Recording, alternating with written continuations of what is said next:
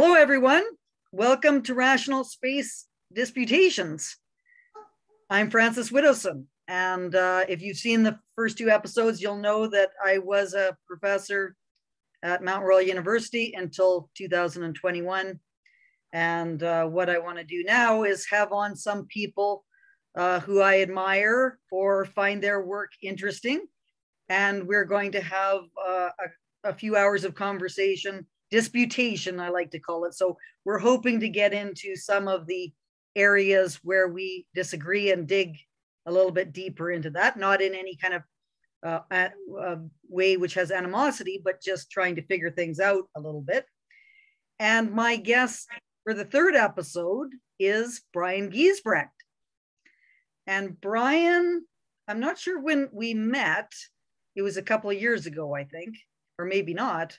Um, but I have been aware of Brian's work for quite some time.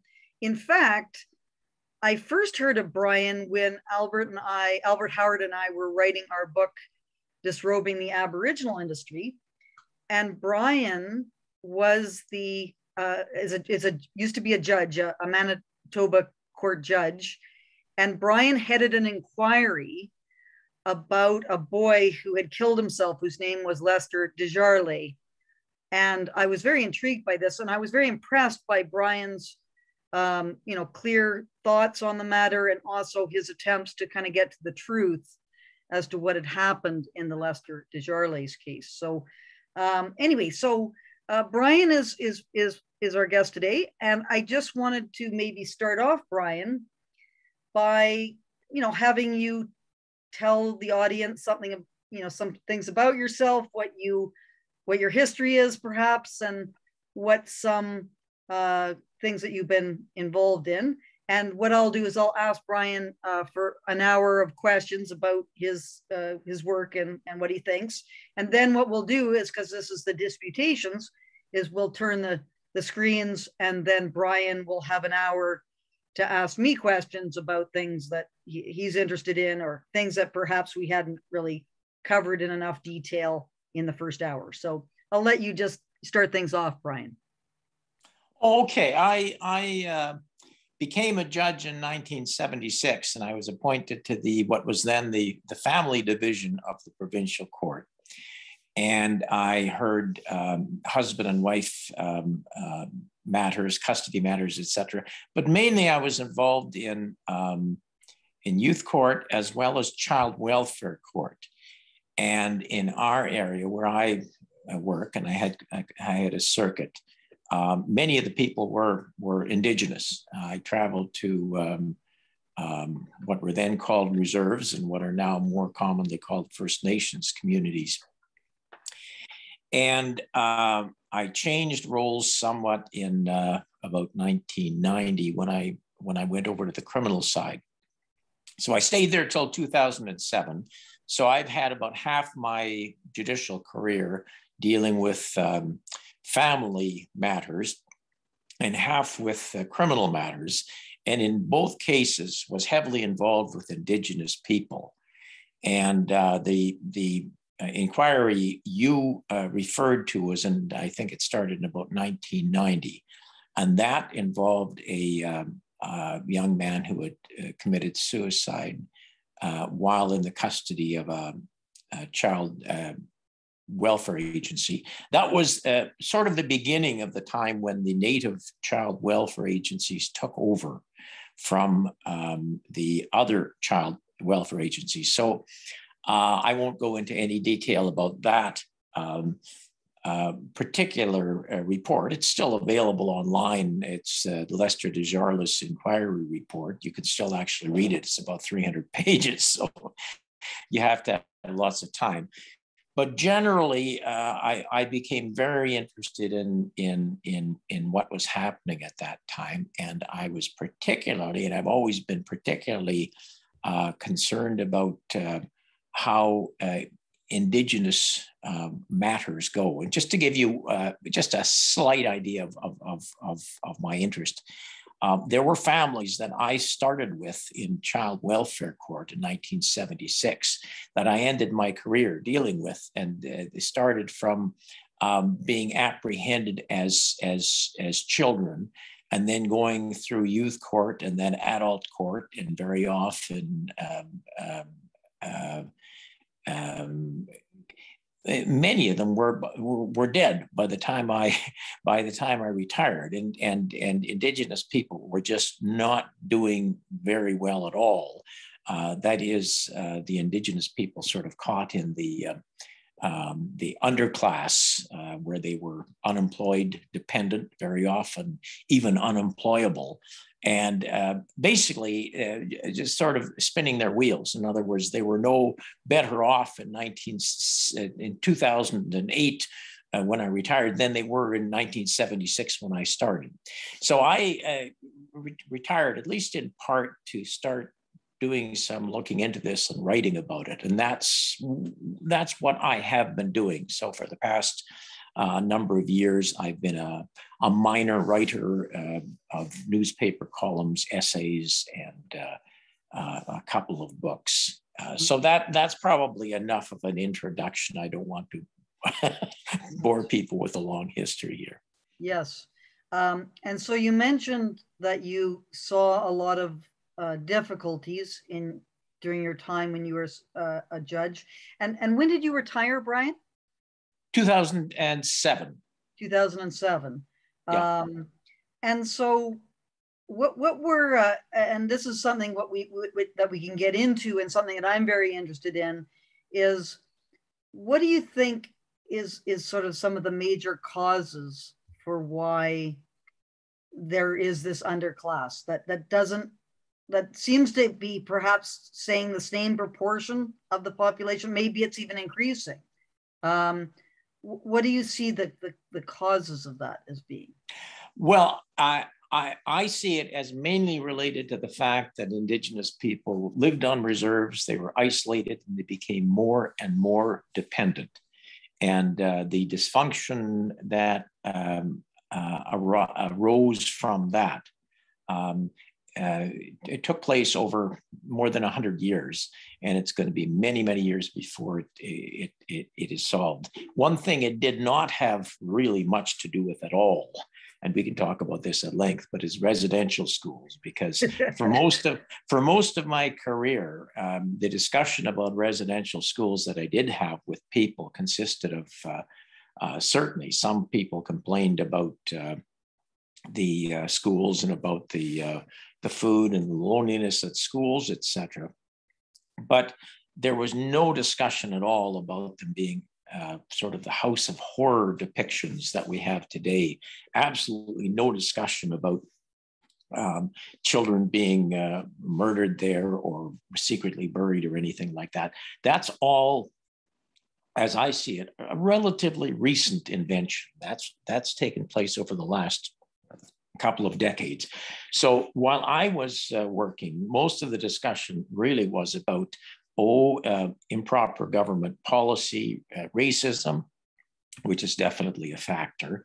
Um, but it didn't have a, really anything to do with residential schools. If anything, the um, the the chiefs and the sort of the leading uh, families in the reserve were were descendants of, of uh, people who had gone to residential school or they had gone there themselves. So they were the actual uh, sort of the what would you call it the educated uh, elite on the reserves, and they they were sort of disproportionately represented uh, within the leading leading families.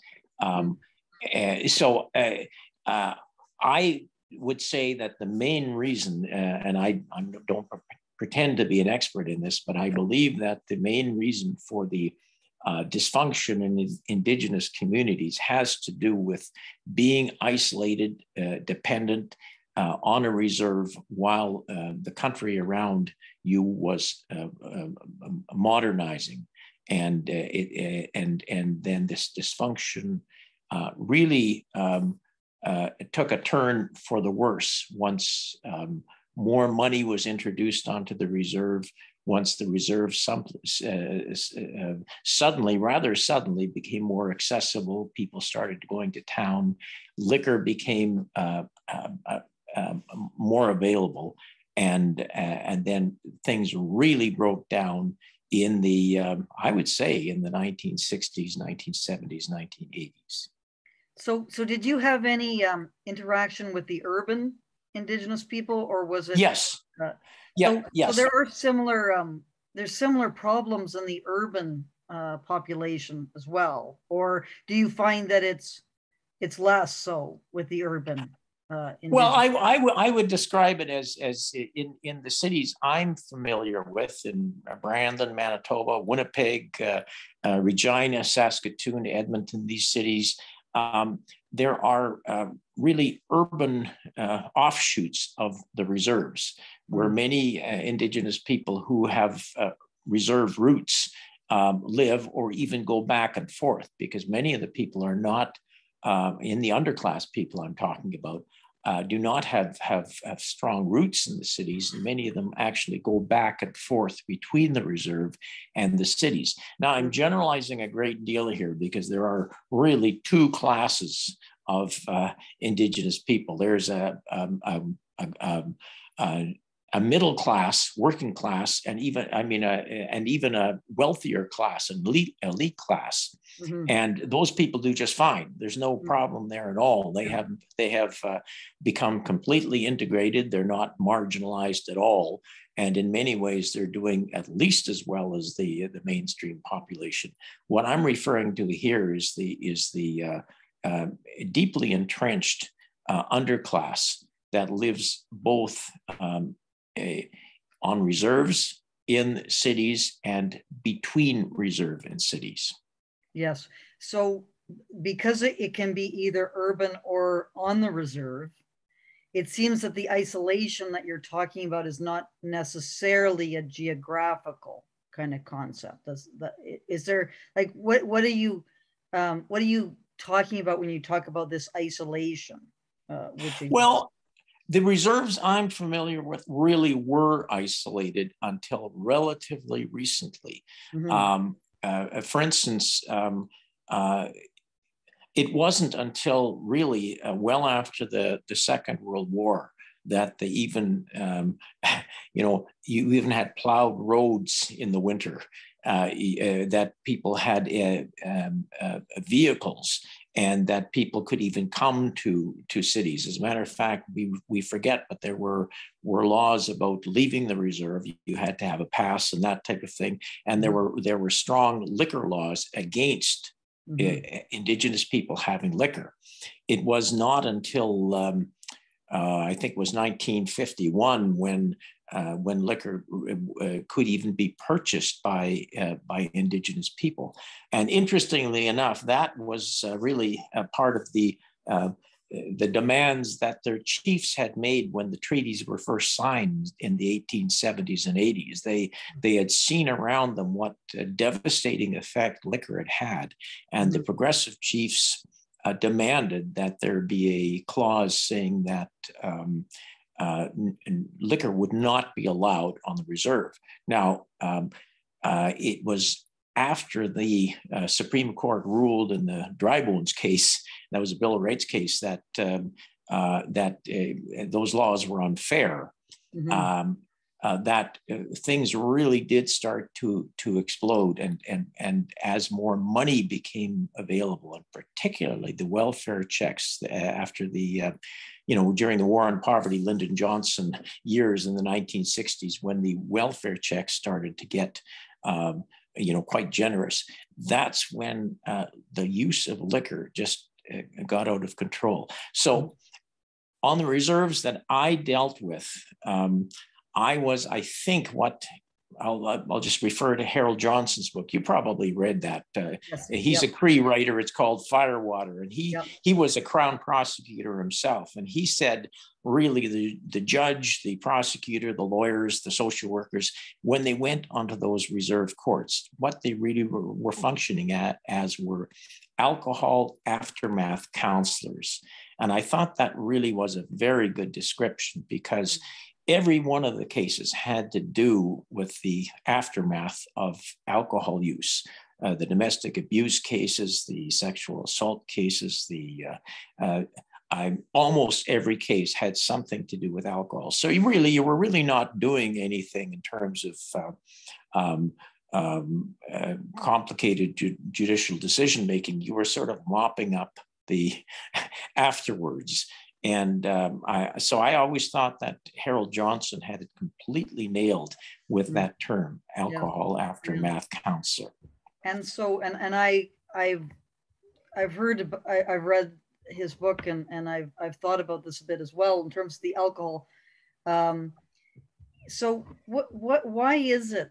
Do you think that alcohol has had such a devastating impact? And it's kind of a it's an interesting question because we have you know many societies throughout the world uh, alcohol as part of their culture is is been absorbed. I'm not sure if there's other populations that are similar in terms of having alcohol have such a detrimental effect. Is it the speed at which alcohol was introduced is it because the, that they're the kind of restraints? So if you look at a country like france for example where alcohol is just constantly available everywhere every possible context you can imagine you go into a cafe in the morning and there's at least a few there's a few people having alcohol with their breakfast yet you don't have the same catastrophic kinds of results. So so what is it about, you know, the, the indigenous population or the isolated indigenous population that uh, that has made this the case? Do you think? Well, I, I would say that that uh, it, it, it is a common problem uh, with all of the countries that have colonized uh, indigenous people. Uh, the, uh, Australia with the Aboriginal population, um, United States with their Native American population, and even New Zealand with the Maori population, they all have similar um, uh, problems with alcohol use within the indigenous population. Now, it's certainly not within my uh, expertise to, to actually understand this, but I have done some, some research into this. And it's really quite interesting that the uh, binge drinking um, tradition that sort of started with the fur traders. Uh, I have, you know, the Hudson Bay Company, the the uh, hmm. the, the Cree would would uh, would um, would bring uh, the furs up, the made beaver uh, up to the forts, for instance, and then everybody would get drunk the uh, the, the the Indians, uh, along with the uh, the Orkneymen working at the at the, the the forts, and every everybody would get drunk for a week, and then the Indians would go home. Now. Mm-hmm. That wasn't that devastating because I mean that happened a, a few times a year. But once once the Northwest Company came and started trading uh, actively with Indians, well, alcohol became the number one trade good.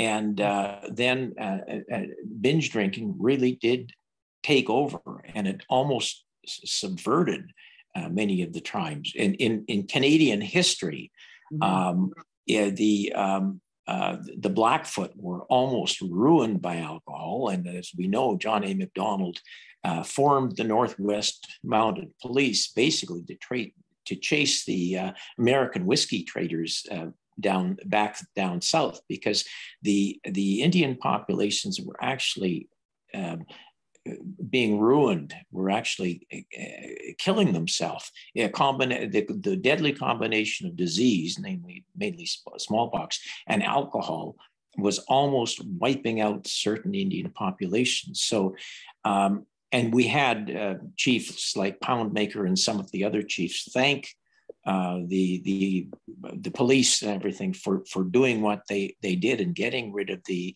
the alcohol because they saw what it was doing to their people. So in short, I'm not exactly uh, you know I'm not qualified to to to uh, to really uh, give a professional opinion about this, mm-hmm. but it does seem that reserve life with its combination of uh, say lack of purpose and dependence on the government combined with the availability of alcohol caused just an enormous problem. And the problems were we're seeing uh, what was called the 60 scoop for instance. And nowadays we call the indigenous child welfare problem.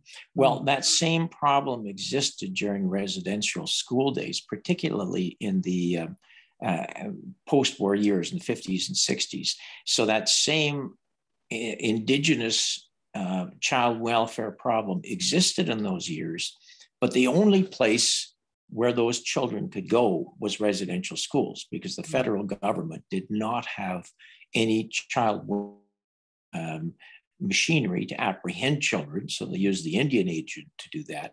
Mm-hmm. And uh, the federal government did not have any specialized uh, child welfare institutions. So basically, they used uh, residential schools almost as uh, repository for, uh, for um, uh, indigenous child welfare problems. And when I say indigenous child welfare problems, I'm talking about neglected children, neglected because of the use of alcohol in the home.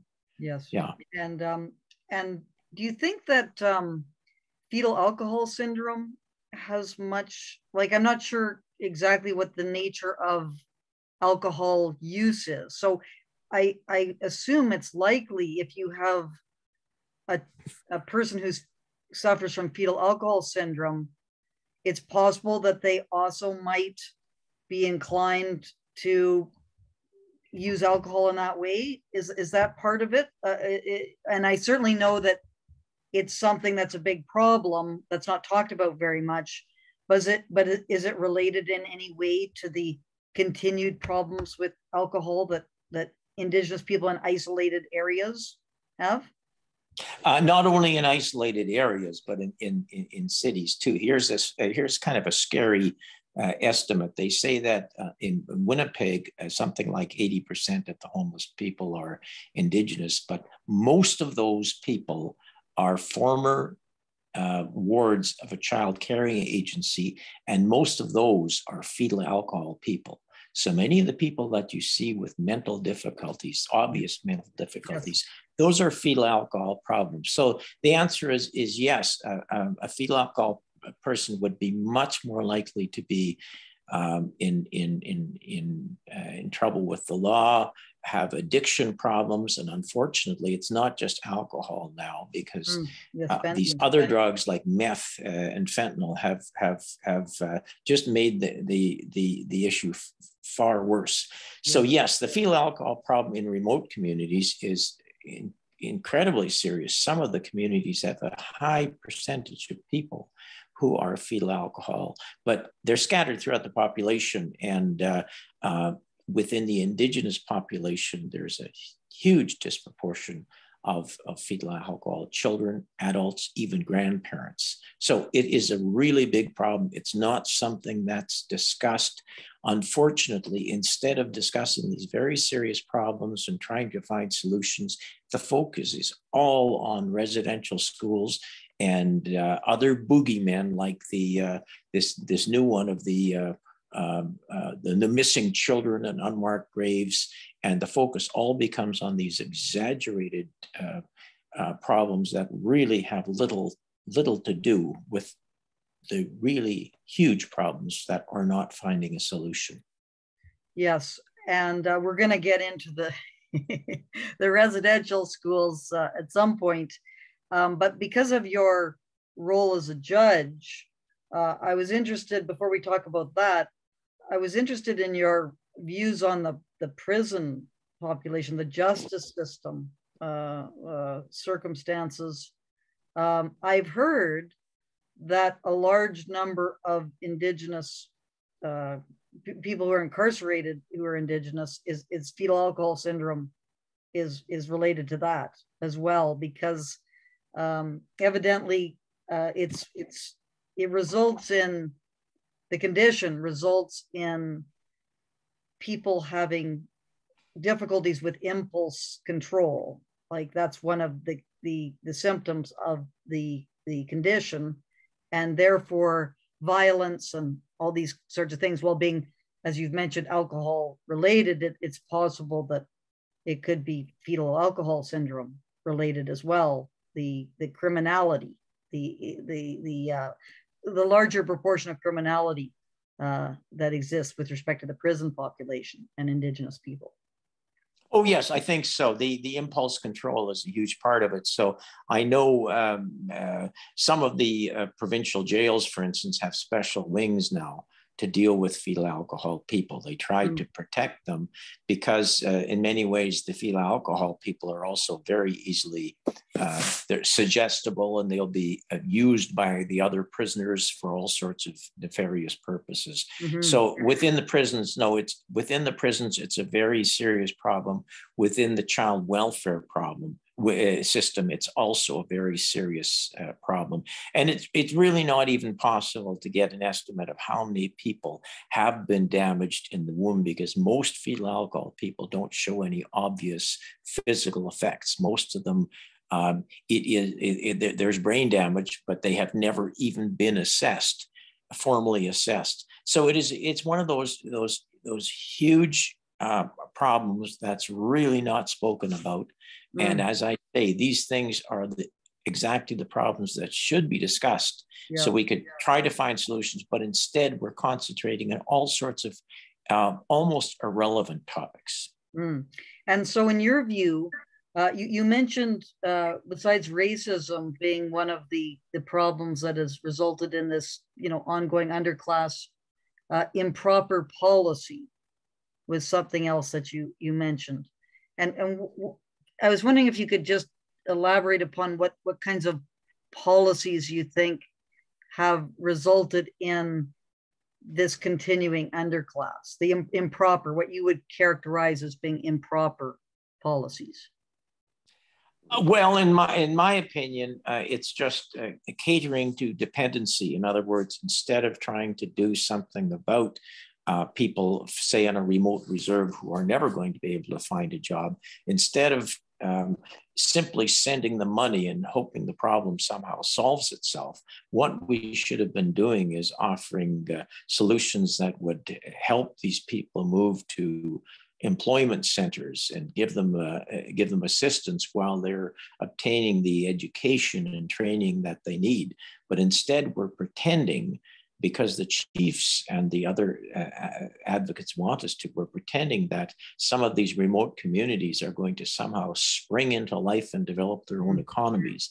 Well, I think I think that has been a just a, an absolutely deadly formula, because even in um, um, the I'm I'm I'm from a rural area and and and and uh, even in a in the area I live in, young people aren't all able to find jobs in the mm-hmm. in the rural area nor do they want to. They um, maybe half of the young people want to go to the city and uh, their their career plans involve going to university or doing a job that can only be, be done in the city.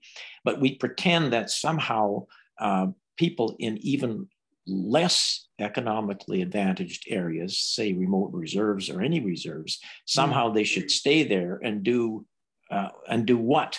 Uh, uh, you know, you there are certain jobs. You could be the chief, you could be a counselors, and uh, you can have.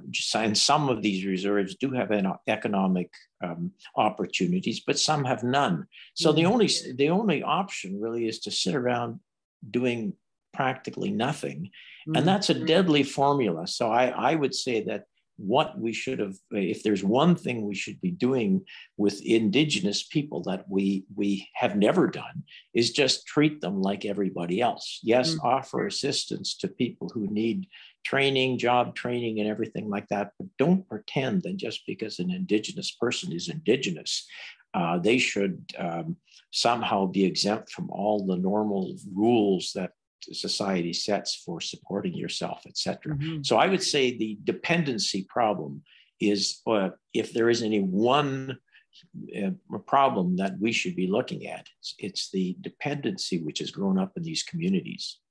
And so then, if if so, from what I understand, your view is basically provide indigenous people with the supports to to move to an area that is that is more viable. Uh, is that is that generally what you're proposing? Well, you know, I, I going back in history, the report that I think we do not look at anymore that we should. Everybody looks at the 1969 attempt by Pierre Trudeau to do away with the, uh, uh, the Indian Act. Well, that was actually done quite clumsily. The report we should be look, looking at is the 1967 Hawthorn report. That mm. sort of uh, was known uh, uh, for its use of the term citizen plus, which many mm. people found um, uh, a bit offensive. But really, when you look further into the report, what they said was very useful because they said, well, of course, we can't just uh, expect everybody in a, uh, on a reserve to move to town. That's not going to work. Mm. Uh, what we should be doing is, is providing basic support in those communities. In other words, yes, if you wanted to stay in that community, um, eh, there would be basic supports, etc.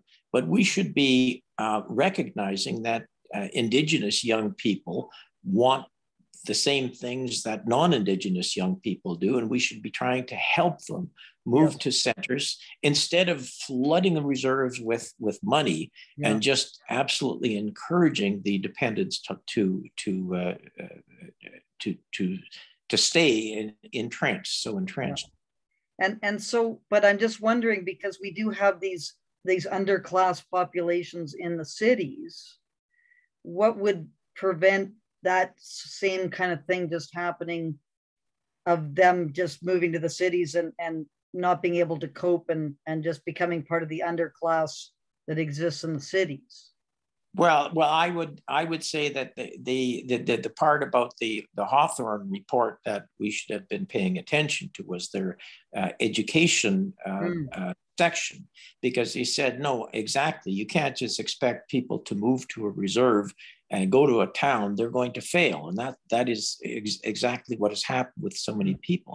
What we should be doing is is offering first class uh, education. And then we should even be following the the people to a city to assist them while they establish themselves. I've even suggested, and this is a this is considered a bit radical, but I've even suggested uh, a type of residential school for the entire family so instead of just taking the children, um, which was a which was a mistake, you take the entire family. I'm not saying you you relocate them against their will. I'm talking about people that yeah. want a better life for themselves. Yeah, yeah. So you you are you're able to to to have the whole family move to a center where they are much more likely to find employment and success, and then work with the entire family uh, so that they have a better chance of succeeding. But as it is, we've just had people move from reserves where they've uh, not been trained for modern life at all. They, they have very poor educations. And then they just form uh, similar dependent,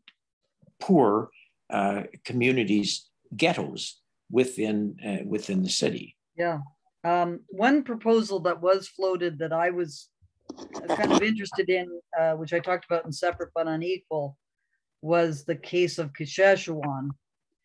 And there were a bunch of proposals because Kashechewan, of course, is, is for people who don't know what that community, uh, the circumstances there, it, it's one of the most obvious cases where that community cannot continue, like uh, because it's on a floodplain and every couple of years it gets flooded and then they have to relocate the population to hotels for a few months while they get the flooding sorted out. And so it's it's recognized that that's not a viable uh, although there's many other places that aren't viable but this is an extreme example. And so one of the propo- there's a number of proposals that were made and one of them the one that was promoted by the person who did the reports was to move the entire community. I think it was 20 kilometers or 20 miles outside of Timmins.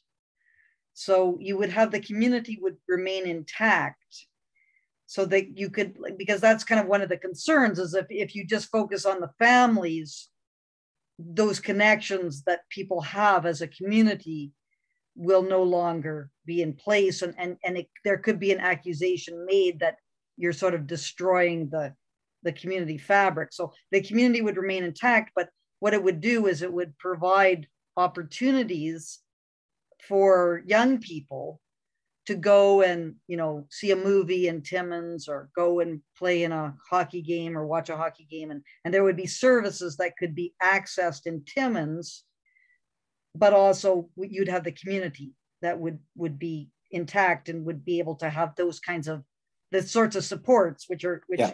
Are claimed to be important. Uh, uh have have you given any thought to that? Uh, to that? Yeah, uh, Gordon Gibson um, uh, proposed um, uh, a very similar idea. I think he called it community of, of excellence a number of years ago. Mm-hmm. And and I, I think all of those those those ideas are worth considering. The problem is the biggest problem, as I see it, is the opposition from the chiefs, mm-hmm. because the chiefs are proposing a completely opposite uh, model where they remain separate and mm-hmm. where they reject the idea that that they have to uh, um, uh, deal with what you call the develop, uh, de- developmental gap, what Tom mm-hmm. Flanagan calls the civilization gap.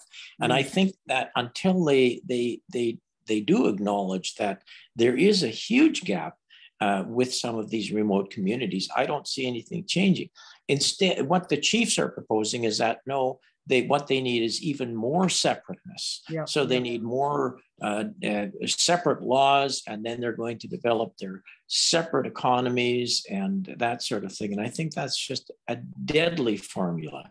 The what has worked, what has worked with uh, with people who have uh, indigenous people who have have integrated and uh, are doing just fine is integration. That's exactly what what they've done. And you know, just to just to get a, give an example, if I can just put a put a, a sort of a name on this, and I'll just use a politician because uh, he's. Uh, and I'm not going to say anything bad about him. So, so uh, uh, uh, you know, I don't think I'll be sued here, but uh, Wab Kinew, Wab Kinew is, is, is Manitoba's um, NDP. He's the opposition leader. Okay, mm-hmm. and he's an indigenous guy and highly successful, nice looking, uh, smart guy, and everything like that. So, but what what I'm saying is here here is he's completely integrated. He goes to work like everybody else. He pays his mortgage and takes his kid to, to, soccer and that sort of thing. And yet he's proudly indigenous. So, I mean, he'll wear some indigenous type of clothing. You know, Perry Bellegarde did that too. He looked really good in it. So you'd wear a buckskin jacket or wee beads or something to show that, you know, that you're indigenous. But at the same time, you're just a, you're just a, a, integrated person and you're living like everybody else and mm. It's so obvious that that is the answer. That's the answer for Indigenous people to integrate into the economy. It doesn't mean that you're going to be you're going to lose your culture or you're going to be forced to assimilate or anything like that. You're mm-hmm. able to choose to retain as much of your indigenous culture as, as you want. But that's not what the indigenous advocates say. They say, no, we have to remain separate and we're very different from you. And no, we're not like you. Well, mm-hmm. that's that's just a recipe for di- disaster. They don't have to say, well, I want to give up my indig- uh, I can't even say the word, my uh, indigenous culture. Yeah. Uh, they could say, no, I want to be economically um, uh, is successful and I want to learn the skills necessary to integrate into the economy. But at the same time, I want to remain an Indigenous person, and that's going to be my primary identity. And I don't think anybody would have any problem with that. Very yeah. similar to our Quebec situation, where you have uh, people who uh, have their first, uh, they identify as, as Quebecois before being Canadian. Well, yeah that's that works. That's fine. They're they're they're part of canada. They're uh, you know uh, economically productive etc but the indigenous leaders seem to want to insist that they are so separate that they don't have to sort of play by the same rules as everybody else. But they do. If you want to be in the economy you can't simply uh, ask for money from the government. You have to be productive. Yes. So and this could be an area of disagreement that we have you know, to what extent do you think private ownership, like sort of Tom Flanagan's position? So, as far as I under, one of the kinds of things he talks about is home ownership, uh, sort of promoting private property as being one of the um, the kind of the, the methods or the, the mechanisms that could uh, address this dependency is is this something that you agree with, or or how, what what's your position on that? Well, I, I very much agree with it, and and uh, and and uh, I would say that they have to find a way of introducing private property uh, onto reserves. That's that's the first step that they have to, to take. Let me just get let me just give you an example because I am a, uh, as I said, I'm a rural person, and we have our local uh, government, or municipal government, which is a very, very uh, um, active government. For most people, their local government is, is, is, they're much more involved with it than they are with their provincial or, or federal government. And I think that's the case for most, most rural people. But why does that work? Why does our government, our local government function? It's because people own their own property. They pay tax based on their property ownership. They mm-hmm. want their money spent properly. And if any counselor gets out of line and starts spending money in a way that they don't like, that person's just not going to last. Mm-hmm. So there's this, this selfish aspect to it, but that's what makes local government work. And mm-hmm. that does not apply on an Indian reserve because all of the money comes from the outside. Yes. Uh, except for except for a few instances, the reserves I'm familiar with, you, there is no private property. There's no home ownership. So the the the um, uh, the property is actually owned. Uh, the, the money comes from the government. The band owns the property the person who lives in the house is just a tenant. They don't care. Uh, there's no pride of ownership or any of those things. They're not paying taxes for the upkeep of the community, maintenance of the road, or anything like that. And the entire dynamic of reserve life is different as a result. So you you're voting for the person uh, who's going to get you the most money from the federal government. Uh, that's basically what it, what it comes down to in crude terms. So I'm saying that the first thing that they have to do uh, if they want to reform reserves is introduce private property onto reserves. But, but how is that going to work in these remote places, these remote areas that don't really have a market economy in any sense? So it, it makes sense to say, okay, people who there's an economic circumstance that exists, people are working in some kind of capacity, they earn a wage, and they use that wage to buy their house, which then they can sell on the open market to other people. But in those remote communities, no one is going to want to buy their house who who is outside the community. Like like that's not a that's not a doesn't seem to me the market principle doesn't seem to be uh, operating in those remote locations where there really is no economy. Well, I mean, I, I agree with you because the the the uh, um, the the the harsh fact of life is that uh, uh, some people will do much better than than others. If your house happens to be located on the, on the outskirts of, of Vancouver mm-hmm. uh, and you're living on a reserve, you're you're you're already doing way better than somebody who lives up in uh, in in northern uh, Manitoba. But yeah. here again, I would go back to the Hawthorn report, and and mm-hmm. and the big answer to those remote communities where you've got uh, just everybody's unemployed except people who are working uh, for the band. Yeah. Um, I would say uh, many of those people shouldn't be there. The mm young people should be uh, educating themselves so mm that they can find careers and jobs um, uh, um, in, in, in cities and places where, where jobs are available. I'm just going to use the comparison to that uh, the, uh, the, um, the, Newfoundland situation when the mm-hmm. fisheries closed down. Yeah. Well, I mean, if the if those were Indian reserves, there would be still be people living there doing mm-hmm. nothing. Well, yeah. that wasn't considered. That wasn't considered uh, proper or, or sustainable by Joey Smallwood. Why are we? Why do we do things differently just because these are Indigenous people? That's a double standard, and, and if you really think about it, if you really examine it, it's rather a racist standard because it's it's sort of the uh, uh, the bigotry of low expectations. Why do mm. we think it's proper for Indigenous people to be uh, to have, live in a community that basically total unemployment. Everybody, everybody depends on the government there. Mm, the yeah. people at the lower end are on, on welfare, but the people at the upper end are on welfare too. It's just mm-hmm. called transfer payments. That's all. It's just a it's just a more lucrative uh, kind of, uh, uh, of. Why are we saying to these people, "Oh, that's fine. You're Indigenous people, so you just sit there and do nothing." and watch while all of the social problems develop. Why don't we just treat them the same way as we treat, treated those Newfoundlanders or as we're treating our farming population where I live?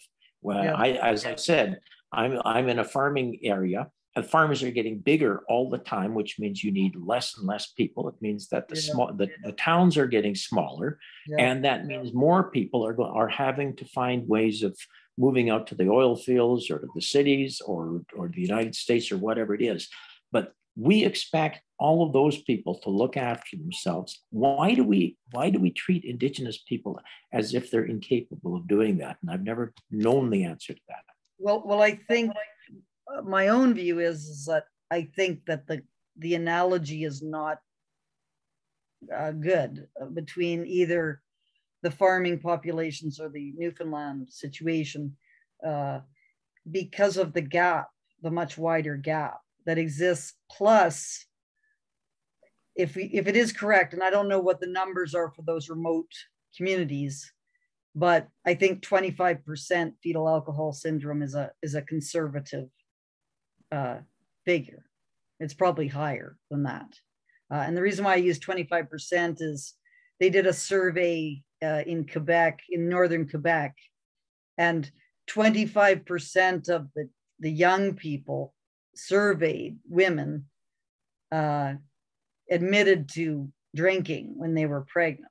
Mm-hmm. And of course, most people, this is a problem with surveys, is that, you know, you're not going to want to admit to that because it's kind of known you, you shouldn't be doing that. But, and I've heard other kind of kind of estimates, anecdotal kinds of estimates. But if you have that situation, which does exist, that's not that's going to be a much more difficult problem. Like it's not going to be easy to to kind of deal with the the, the difficulties which are going to present themselves in terms of integration.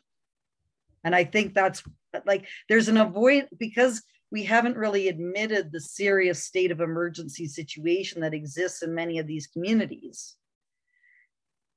We just, we're avoiding it by, you know, just sending the transfers and, and leaving it up to the, the leadership to deal with. And of course, the leadership is not, uh, you know, has its own agenda about things. And often, often it's, it's centered around uh, family, like the, the, the, powerful families within the communities are the ones that that get access to the the transfers and the marginalized people who don't have any connections are just sort of you know abandoned and and that that kind of situation which you know we haven't even really kind of come to terms with that it's not gonna the newfoundland situation is not is not going to uh, be easily brought about which is well no I, I'd agree with exactly what, what I, it, and I don't want to make it sound easy because it's not. It's not mm-hmm. easy. It's very difficult. Yeah. But uh, maybe a better maybe a better example might be to the rural situation, say in uh, uh, Kentucky or or or uh, you know in in the um, uh, opioid area where the, where uh, you've you've had um, manufacturing leave and uh, you have um, an uneducated uh, class, many people with drug addictions and everything like that. If you read, I'm sure you've read Hillbilly Elegy, J.D. You know, Vance's type of thing. Okay, well, that's a good example because uh, you have these real uh, uh, the kids are coming from these these these terribly disadvantaged families parents or a single parent drug addicted and and and and that sort of thing uh, as a result of of uh, you know all sorts of economic policies and that sort of thing which we don't even have to have to go through. But maybe that's a better example because those are people who are both rural and urban and they have a huge problem and it is very similar to the del- develop devel- developmental gap very similar to that because yeah. these people are in, in terms of education employability etc uh, they are far uh, behind the uh, uh the average and yet what is the answer the only answer is to end up like J.D. Vance and go to go to Harvard or Yale or wherever he went to. And I mean, it it, it can be done. So I, mm-hmm. I grant you that in in some of these communities, northern communities in particular, a yeah. lot of those people are not going to succeed no matter what, and they are going to be dependent forever. I I get that, but the but the the young people who mm-hmm. do have potential should be given the opportunity to get out of there and not be told by their leaders, oh, you've just got to stay here all your life just because you were born indigenous. And those are the people we should be finding educational programs for and assisting as they as they make a transition to a place where there are um, more opportunities. But as I say, their their own leaders are not telling them to do that. Their own leaders are basically saying, "No, no, you're an indigenous person, and and that's that's what uh, that's what you've got to do. You've got to uh, um, uh, stay here while we." Pretend to develop a separate economy and while we pre- yeah. pretend to have uh, be a nation when when in fact we are a depressed small rural community yes so final topic which i should have been getting onto this earlier is the residential schools yeah. Which uh, I'll just tell our audience that Brian and I are involved in a research group of about about the total, for a total of about 15 people who are who are who are discussing who are people who are interested in having evidence-based uh, research with respect to the residential schools and um, you mentioned that the way in which the residential schools are being thought about has changed quite dramatically. Uh, why do you, when did when did this change? If you could just repeat, when did this change happen? When, when did you sort of see people talking differently about the residential schools? Well, it, I, I, as I see it, it started after Phil Fontaine's uh, CBC okay. interview with Barbara yep. Frum. I think that was 1990 or 91. Yep. Yep. In any event, it, things changed uh, um, uh, drastically after that. Before, uh, during the 70s and 80s, when I would have discussions with people, yeah. a typical conversation would, would go something like this. Well, oh, I attended the Birtle residential school and it was really lonely there, but uh, um, uh, I'm really glad I had the opportunity to go because now I'm an educated person and the, the, the people that uh, stayed behind didn't get an education. That would sort of be a typical conversation. And then that changed quite drastically after the the the the, the uh, uh, in, indigenous leadership realized uh, the potential in terms of, of money and political power uh, that was uh, involved in residential school, and mm. and it's and it's it's gone steadily gotten steadily more and more extreme.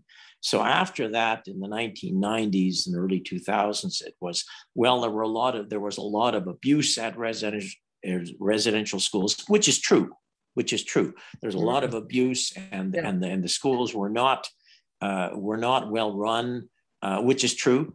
And um, uh, you know the government didn't spend enough money on the the schools, which is also true. And and there were other problems, but now it's gotten absolutely extreme. Now the idea is that these were house, houses of horror where mm. children were tortured and even murdered and, and secretly buried by priests who uh, forced six-year-olds to help them bury uh, their comrades and everything. It's just getting more and more extreme. And uh, uh I've watched I've watched the discussion actually change, and it's been kind of interesting. Mm. And unfortunately, we have a, a media which just absolutely um, seems to accept anything that an indigenous leader says, no matter how extreme, and not even question it. I, have never been able to understand that, yeah. where you have a journalist who would normally be, be uh, uh, very skeptical and would be uh, uh would be pressing hard when it comes to an indigenous person saying it they just accept it no matter how ridiculous this statement and since 2015 we have had this really unusual situation where we have a federal government mm. that seems to find it uh, advantageous uh, to not only uh, offer no pushback against these claims, but to um, encourage them and, and to even um, almost f- flood the communities and grievance groups and everything like that with money. So I think it's almost gotten, uh, it, it, it's, it's almost out of control now. That's the way I, uh, way I see it. And the, mm-hmm. uh, the, the, the unmarked graves and the stories we have now about six year olds burying uh, children that priests murdered and these ridiculous stories. Well, I, I, I just see this as almost a natural development because it's, uh, it's, it's gotten out of hand. Yeah. So um, it's, do you see it's, it's because of the compensation that can be extracted?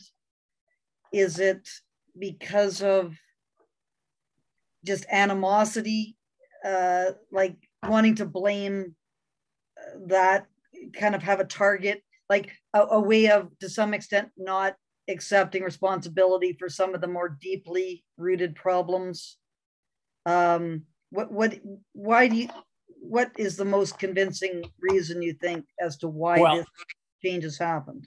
I think it's both of those, and and and then even more. The the the money part of it is obviously uh, a huge factor, because reserves have been totally dependent, and the strategy of the chiefs for forever has been to try to uh, extract as much money from the government as possible and using blame and uh, you know shaming the public into doing this. That has been the strategy and i hope i'm not saying anything offensive there. I think i'm just stating stating a fact that the reserves on the whole there are some exceptions but the reserves on the whole are not productive places. They're not actually producing wealth. They're simply extracting wealth. And that's been the strategy of the chiefs all along to try to obtain as, as, as much money from the government and to guilt the public in, into providing it. But it's not just that, it's mm. also um, um, almost um, a, a way of, of uh, convincing themselves that they have been treated unjustly, and that's the explanation for the, uh, the, the how poorly so many Indigenous people are are doing. They mm. want to lay blame for this not on themselves, instead of, as you say, looking at these real problems that only they can solve. Um, and and trying to to lay blame on on others. So I think it's it's a toxic formula. Yeah. Do you think that the Royal Commission on Aboriginal Peoples played a role in this? Because that that was in the 90s. Like that those hearings were held, I think they started in about 1991 or 1992 and went through till 1996.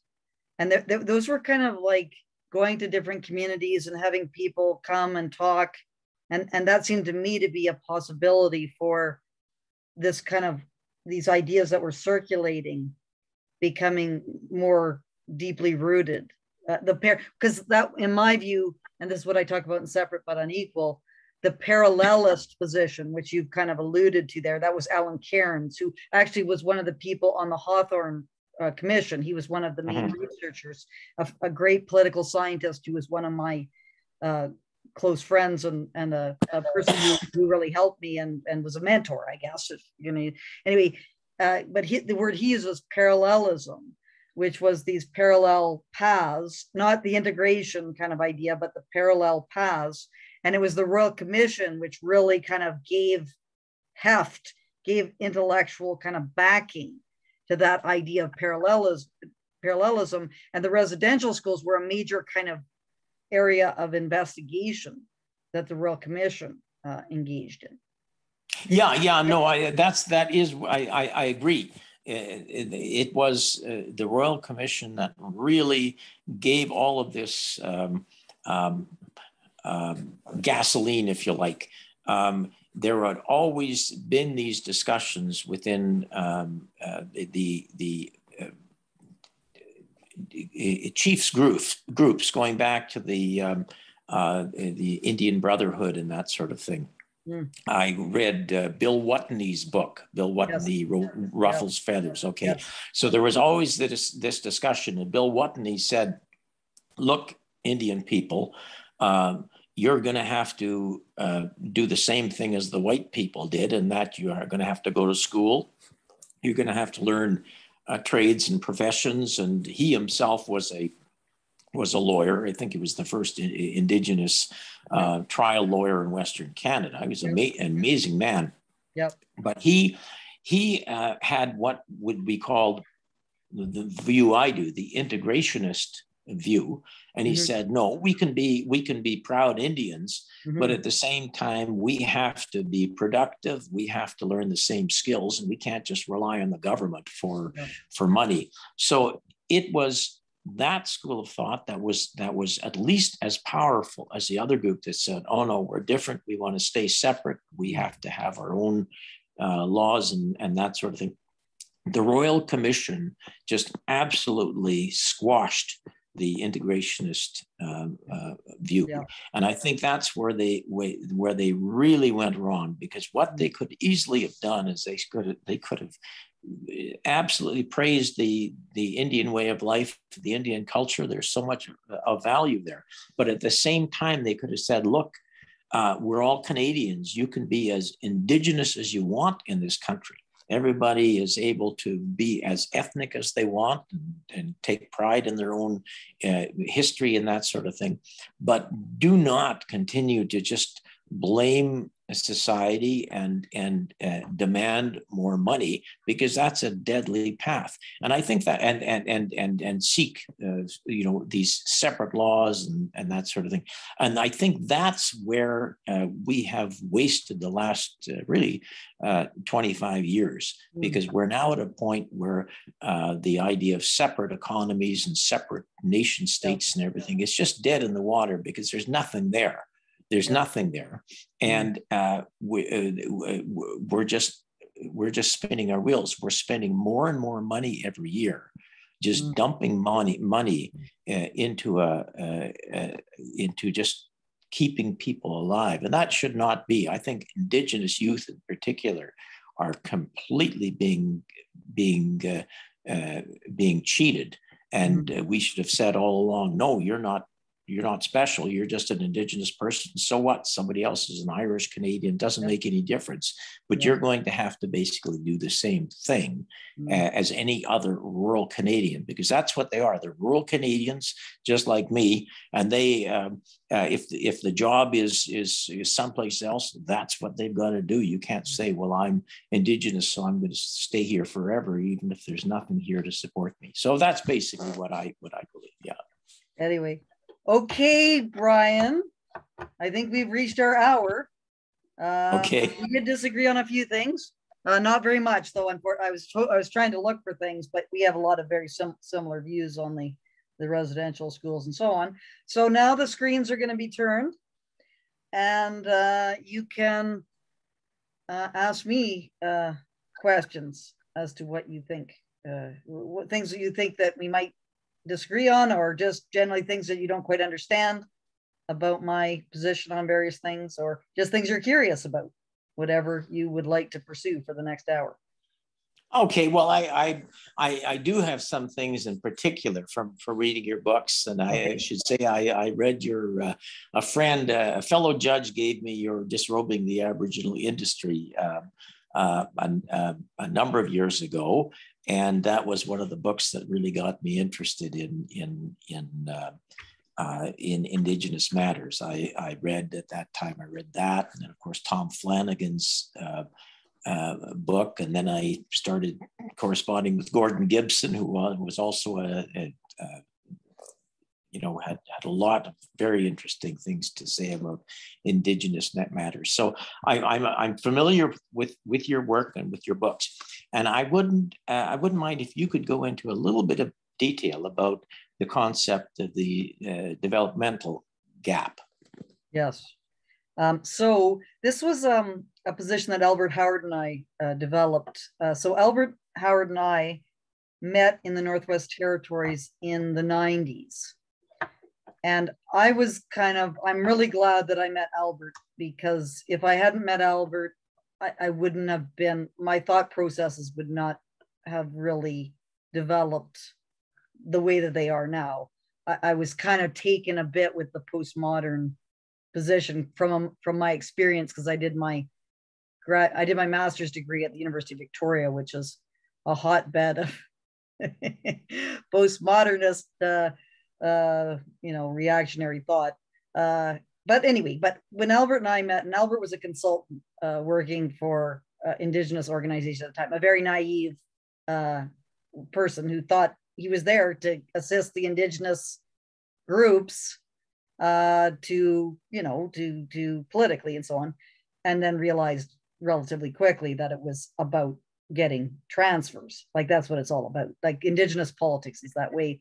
And and and that led albert and i to have you know quite a many many discussions over a number of years about this and because of albert's um, background in historical materialism which is is the nature of the of the, the sort of the theoretical position uh, which comes out of the marxist uh, uh, uh theory and engels frederick engels uh, the, the most famous book in this regard is Frederick Engels's book, uh, the origin the origins of the family, private property, and the state.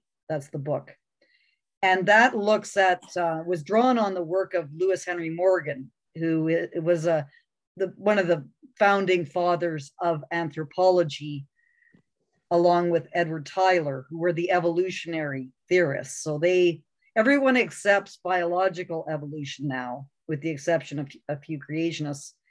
But cultural evolution is a much more disputed theoretical framework. And basically, cultural evolution is um, that cultures develop according to production, productive processes. That's the historical materialist uh, kind of theory. So, depending upon uh, the technology and the division of labor within a society, it will become more complex. It'll be um, in the, the theory is larger societies become larger, uh, more productive, and have greater complexity, which means a greater division of labor within them.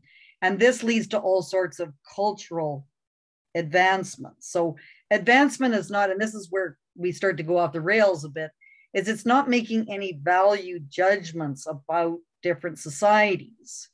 So the language often is used in a very value oriented way, which makes it sound like you're you're classifying a group as being inferior or something like that, or they should be deprived of rights because of this.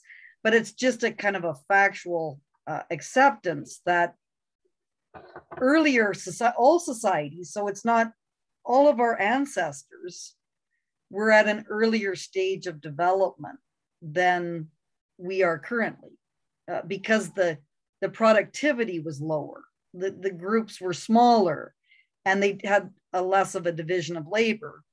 And so when you start to have larger groups more productive groups more complex groups then you start to have developments in, in, in culture such as knowledge uh, and technology such as literacy, which allows for more abstraction, uh, the ability to understand things more. Political systems change, and this is where we have difficulties in political science with this, is that um, early societies were um, kinship was the organizing the political the, the kind of the nature of politics kinship politics tribal politics where you the closer you are related to a group the more you defend them and the more uh, you know distant you are the more you won't be uh, kind of treated to the same you won't be, receive the same loyalty to modern societies where what's called legal rational principles take hold. And you'll you notice this within the court system is that um, if you have a jury you don't want to have your mother determining uh, what the sentence is going to be or you, you you want it to be impartially decided according to rules which are generally applied equally to all citizens within the political system.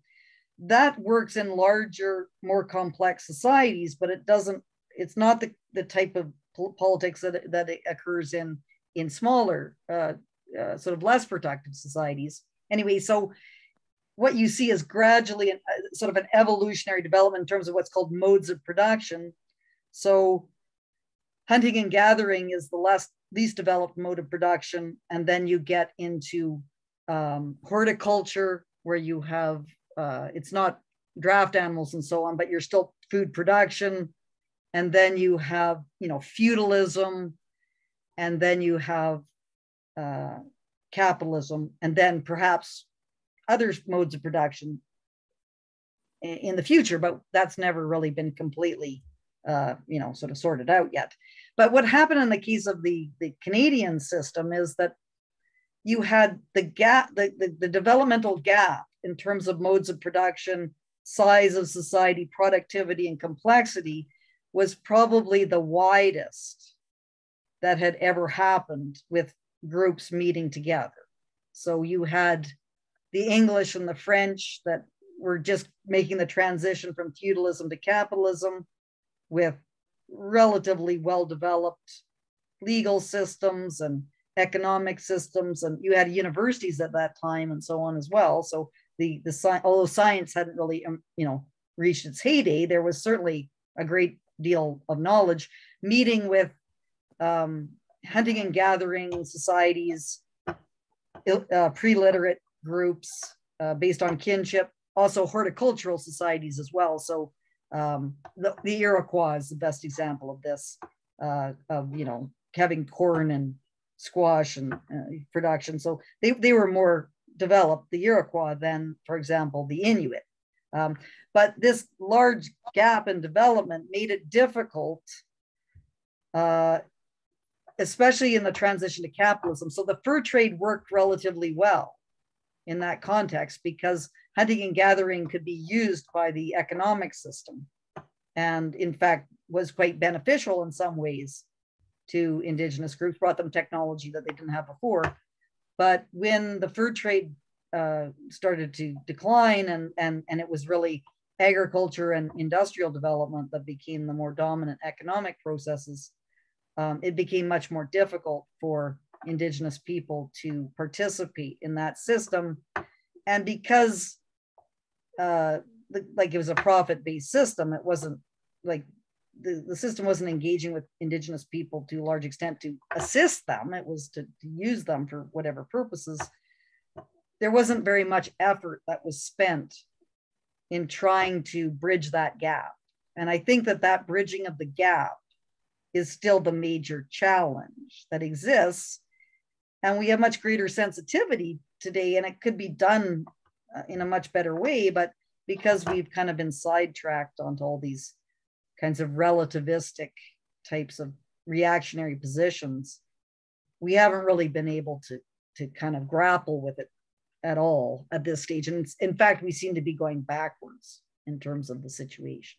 So in, from my perspective i should just because uh, like i'm very different from tom flanagan uh, flanagan and i have a very collegial relationship, and I, I appreciate a, a, great deal of what he has to say. But um, he, he, when he focuses on private property as sort of being a major area, my my concern is is be being becoming a member of the working class. Like that that is the that should be the focus for um, the future of indigenous peoples, and that's it's marginalization from the working class that is really the root cause of of the isolation and, and the difficulties that exist for the indigenous population.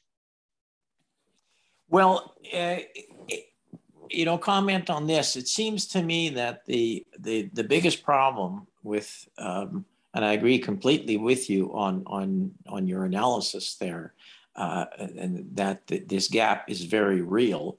But the biggest problem to overcoming this gap is the refusal by indigenous leaders to acknowledge that a gap exists instead of mm-hmm. saying yes we we obviously need to particularly with the the more remote communities that have uh, uh, the the, uh, the, the biggest you know the, the longest way to go uh, instead of saying yes, we have to we have to to to bridge this gap. It, instead, it's saying no, no, you don't understand. We just have a different way of doing things, and and we have a different kind of uh, uh, we have a different kind of culture. It's not any, we don't have any gap. That's a, that's an insult to us to say we, we have a gap.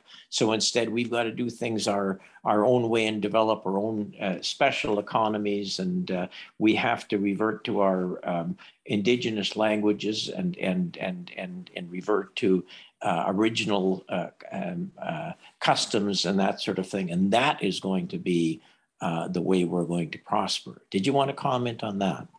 Yeah, and I think I think that's true to some extent, but I think really what we have to look at is the Aboriginal industry's role in all of this. So mm-hmm. this has been um, gradually happening more and more. So in this in the 60s with the reaction to the white paper, that was when it sort of first started.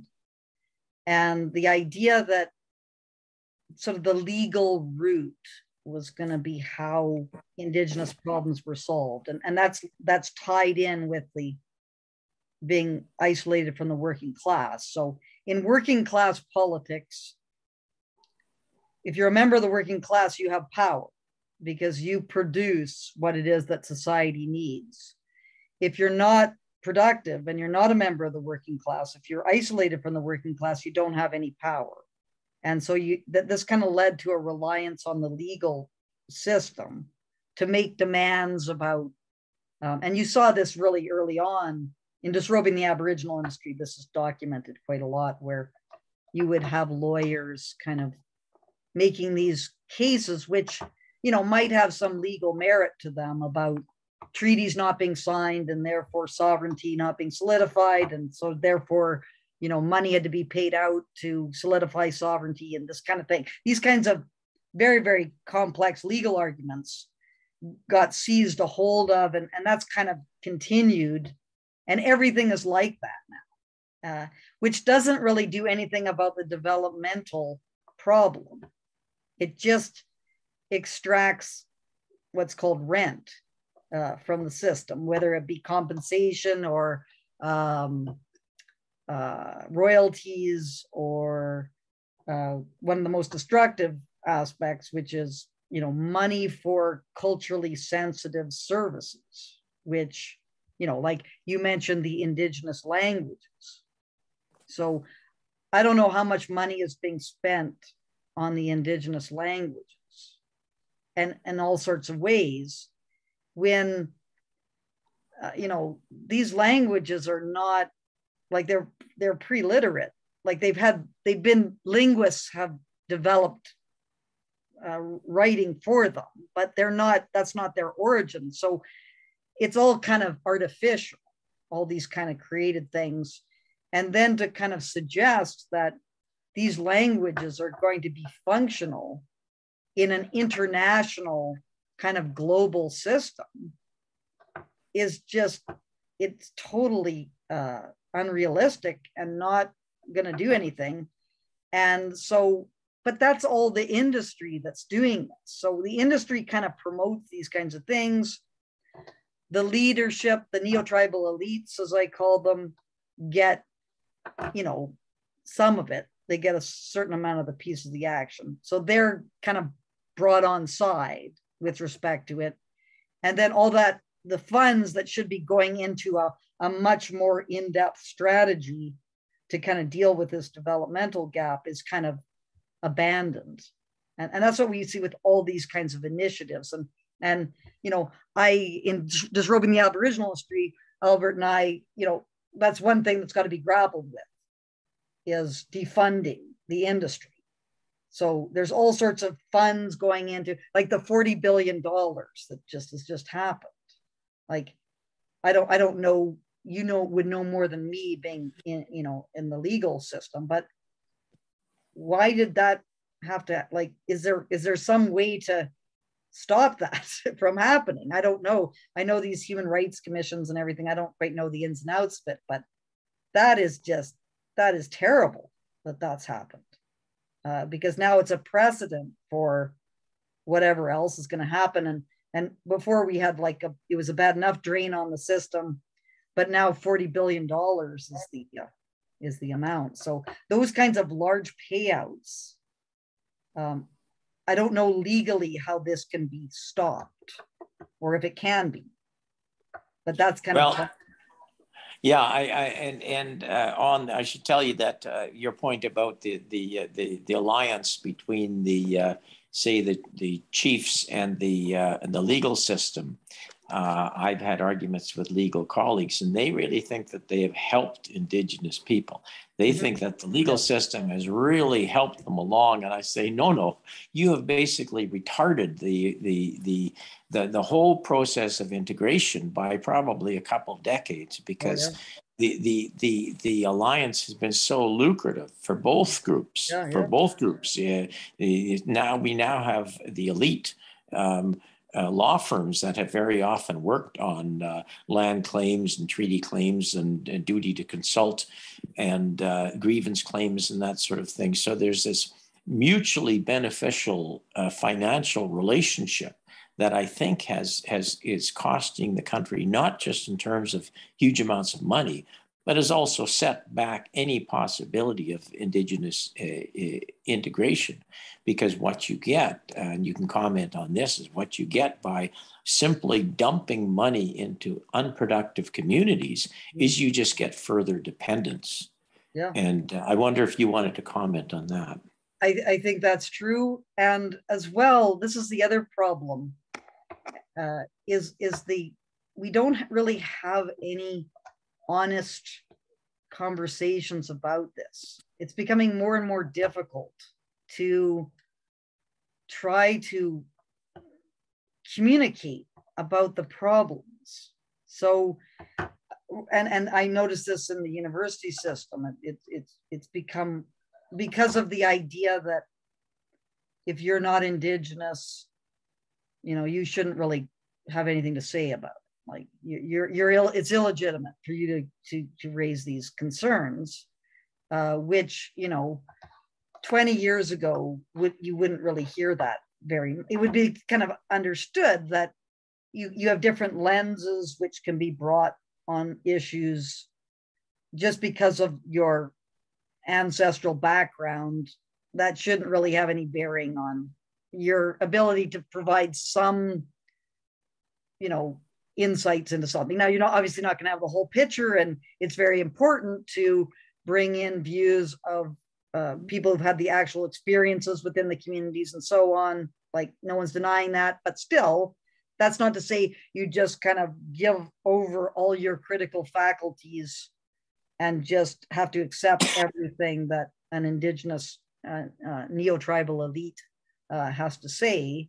Um, and so now we're in a very you know very difficult situation because there really isn't very much space for any kind of open exchange of views and people now just kind of defer to anything that uh, an indigenous leader says. So i think that's kind of the biggest problem right now. Uh, and i don't know if this is going to change with the unmarked graves kind of stuff that's going on because it's possible that some things have been overreach. So, because we were expected to go along with all the wild claims, because of course, these were the neo tribal elites that were making these, and they were indigenous. And who are we as non indigenous people to have anything to say about this? It just kind of took off to this kind of crazy, hysterical kind of thing and now it's like whoa like everyone's sort of in this kind of discombobulated state about it which i don't know what's going to happen.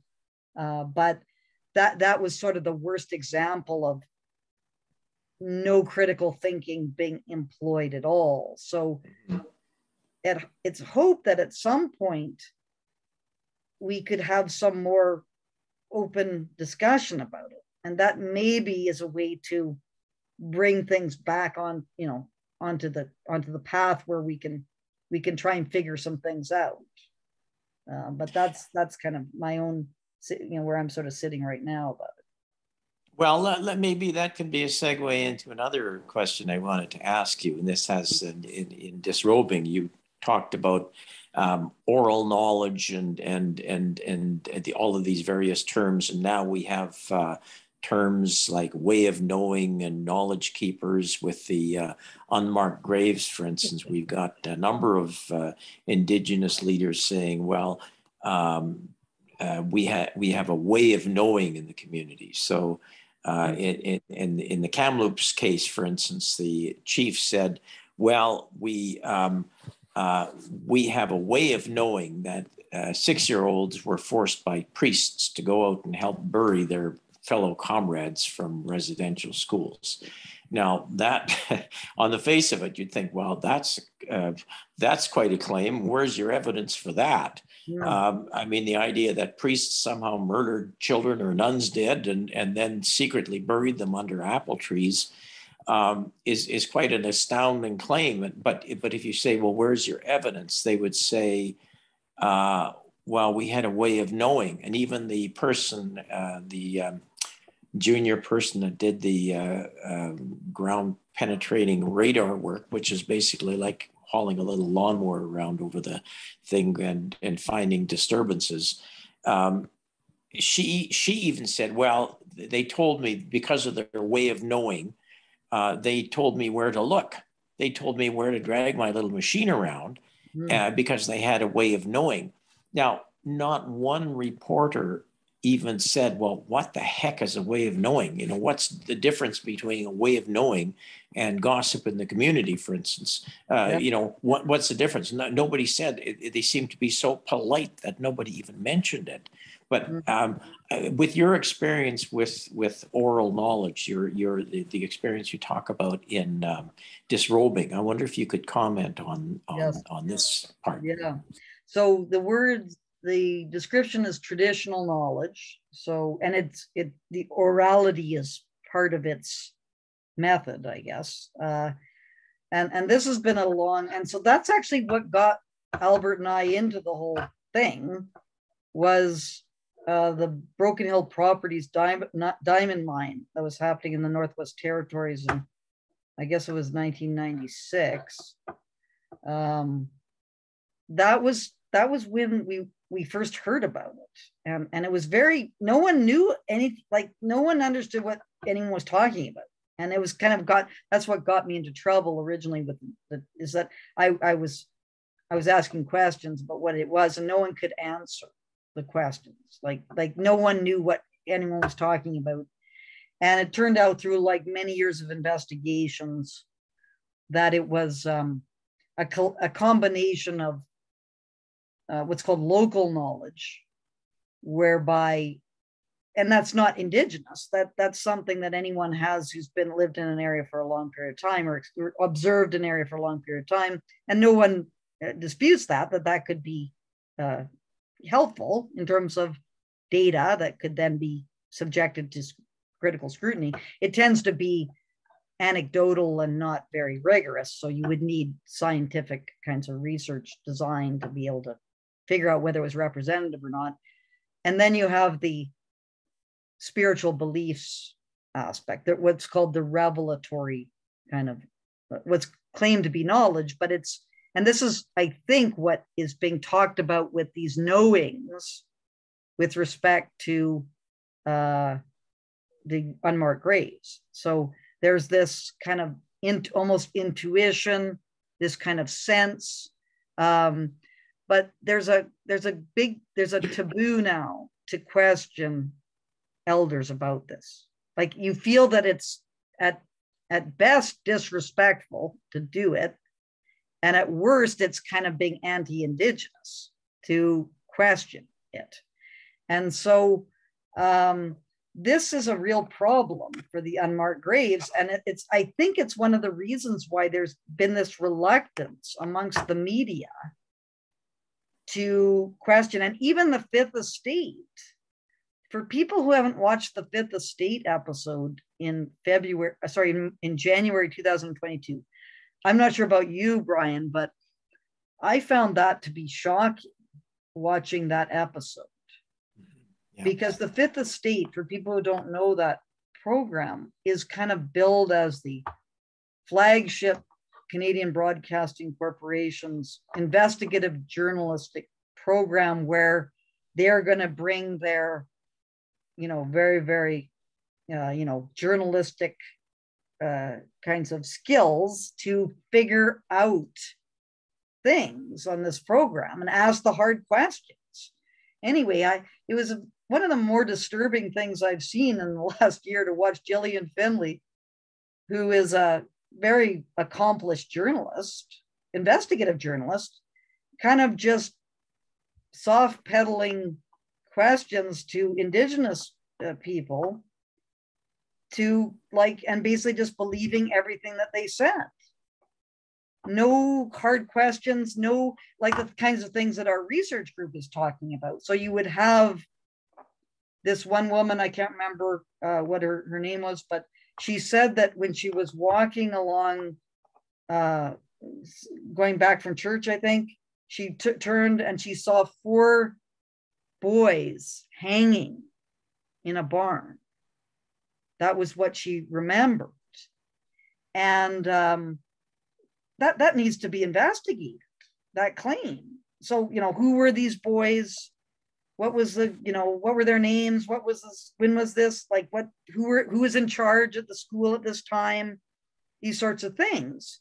But instead, it's just, oh, well, she saw she saw four boys hanging from you know hanging in a barn that must have been that must have been true and and this is kind of ties into this this kind of second aspect of traditional knowledge which is this it doesn't need evidence it's just your belief. If you believe it's true it's true. And often it has a it was a dream or you spoke you had a ceremony where you communicated with the ancestors or you know these all these various sources but it's not there's nothing that can be verified by other people that are you know can, can look at the look at what you're talking about and, and determine whether it's it's some kind of evidence or not. That's not that's not part of that. So i, I find this unmarked grace because you know we, we we now need to get to the bottom of this.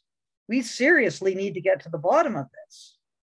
And, you know, because of our deference to these indigenous ways of knowing and that kind of that kind of uh, difficulties in discussing it that's been built up over the last 20 years um, this is unless we kind of face that head on and say you know indigenous ways of knowing are, are not not really much of it is not knowing it's believing and it's not rigorous.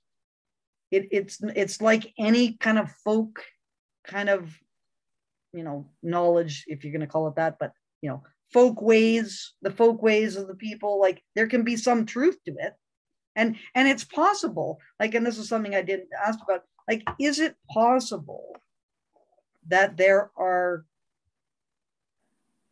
dead children buried in that orchard what do you think? Do you think that is there any like there? It's possible, uh, but is it likely that that's the case? Well, well, by putting it, uh, you know, changing that slightly, is it possible that there are 25,000 and maybe more similar secretly buried uh, children all over this country? and uh, because we're getting not just the Kamloops uh, group now, but Williams Lake. Then there was another one the other day, and now we've had 320 million dollars spent by the government to mm-hmm. encourage this type of thing. Yeah.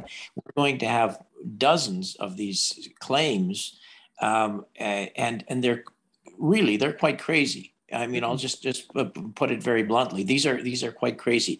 In the four communities where they've actually where these stories existed about children buried under apple trees and and and priests murdering uh, children and having six year olds help them and that sort of thing.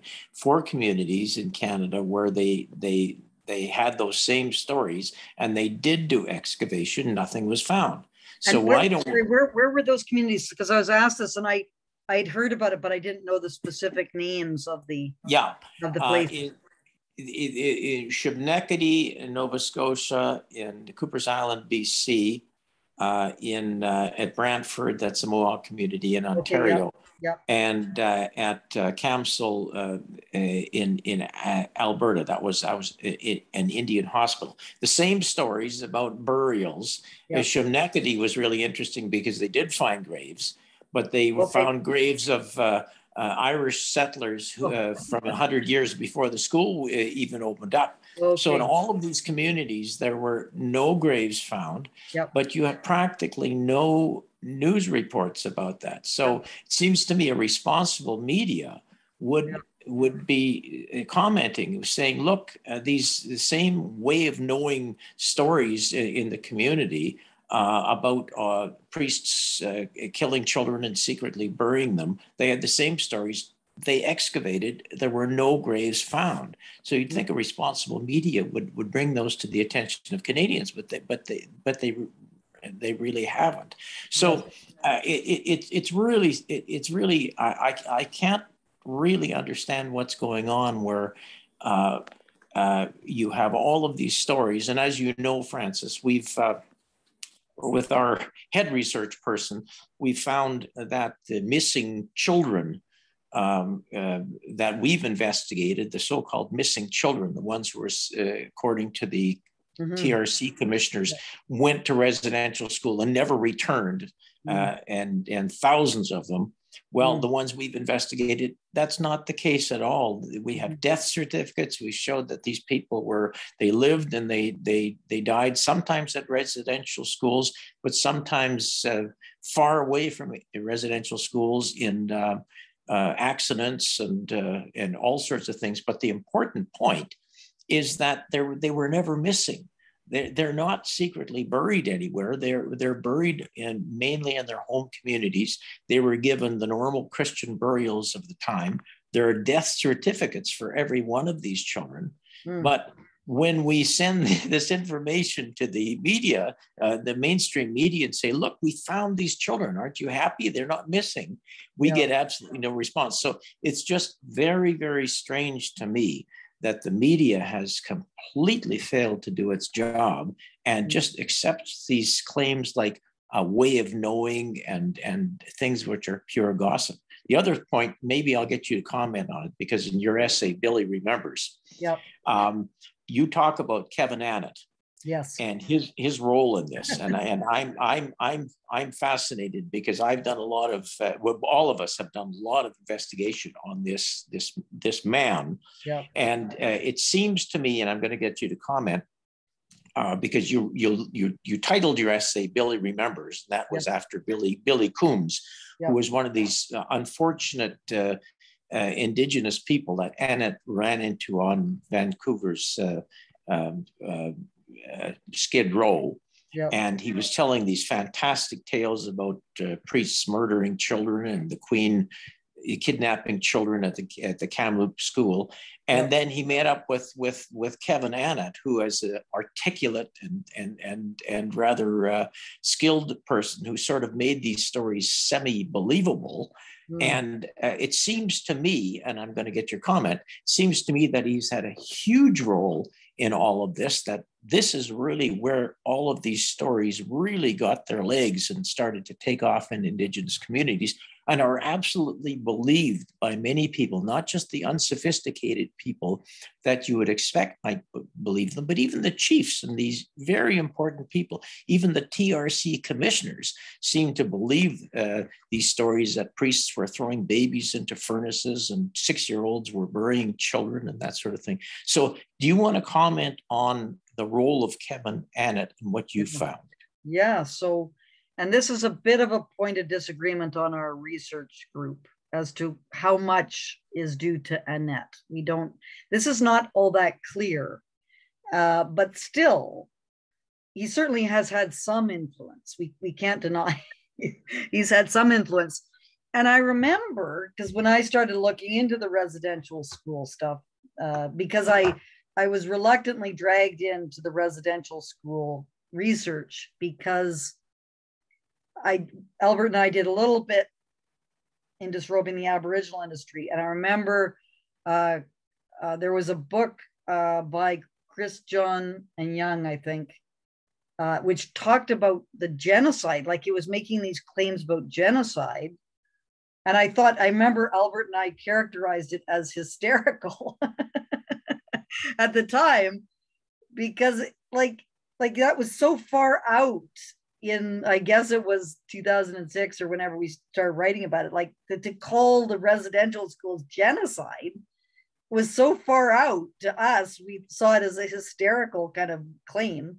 Um, and so when i was doing I, I, came back into the residential schools uh, to, to look at them i guess and it was in about 2016 after the trc because i just thought the truth and reconciliation commission was very unbalanced and I, I i didn't i thought that there needed to be more critical analysis.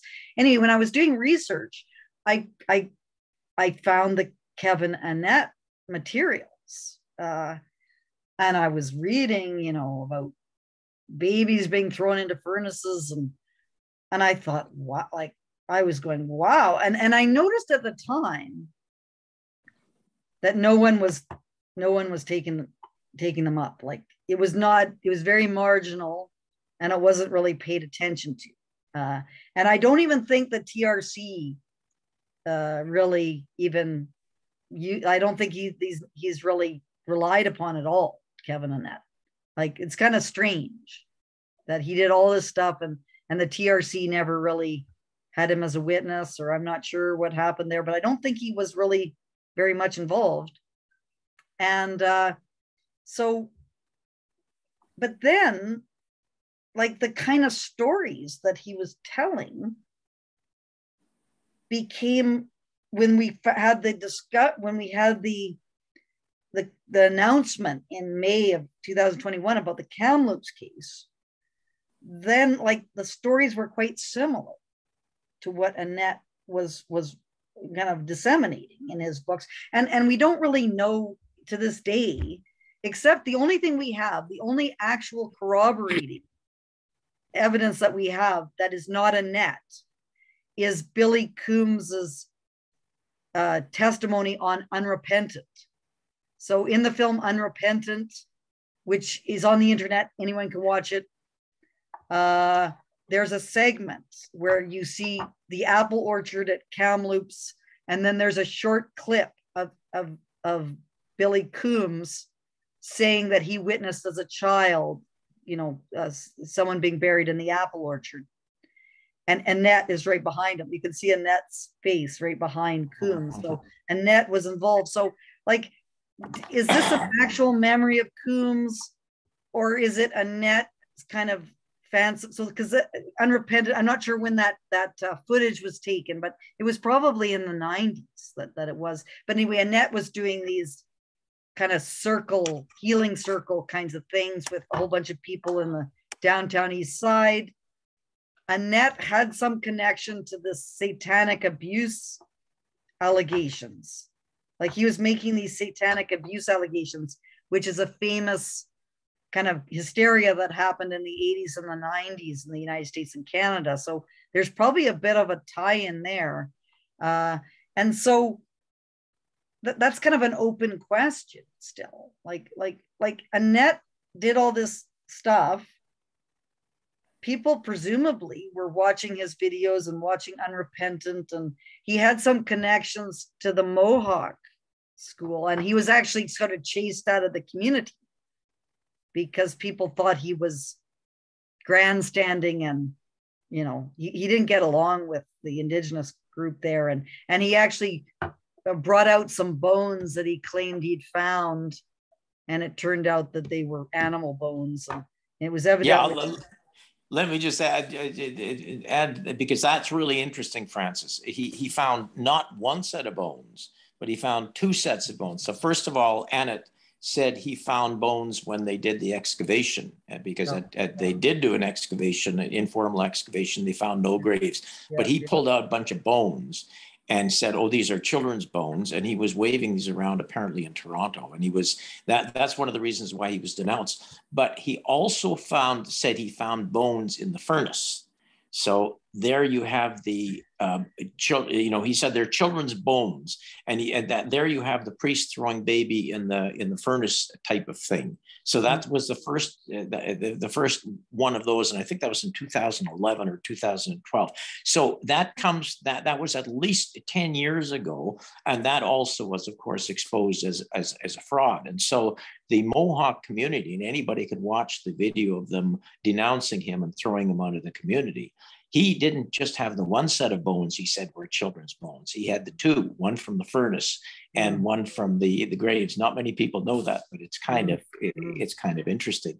But no, I agree with you that that uh, that um, there's no way of knowing how much influence he's he's had.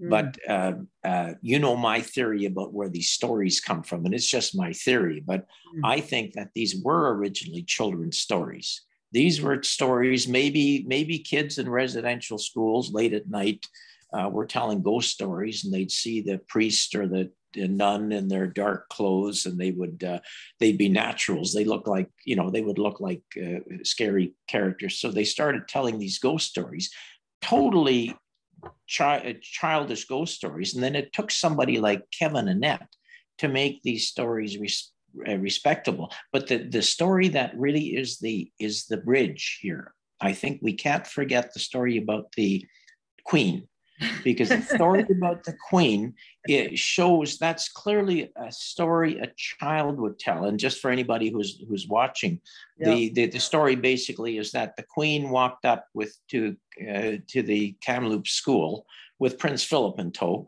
and and made a made the uh, made one of the children kiss her silver foot or boot, boot, and then took them on a yeah, then took them on a on a on a, a, a picnic and kidnapped 10 of the children. Now you think, what?